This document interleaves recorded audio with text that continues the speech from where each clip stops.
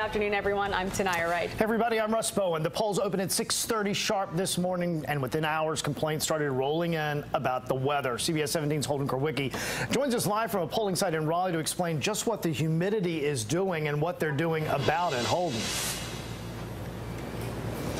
Well, it made for a beautiful day for those of us who had to stand in line to cast our vote earlier this morning, but it's causing quite the headache for the poll workers inside of these precincts.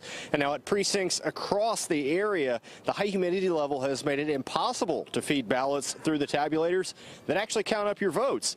The ballots that can't be fed through the tabulators are then set aside in emergency bins and will be tabulated as soon as possible. Now, the State Board of Elections released a statement saying in part that they are working with the precincts to, quote, ensure voting areas are kept as cool and dry as possible by using air, air conditioning and keeping doors closed when possible. Again, all votes that are cast will be counted and the state will perform an audit after the election is finished. Now, if you have a complaint that you would like to file with the State Board of Elections, you can find a link on our website, cbs17.com. Live in Raleigh, Holden Kurwicki, CBS 17 News. Holden, thanks for that. One item getting a lot of attention on the ballot, six different amendments to the state constitution. I sat down with Meredith College political science professor David McLennan on each of these amendments. You can find those videos right now at CBS17.com under the news tab before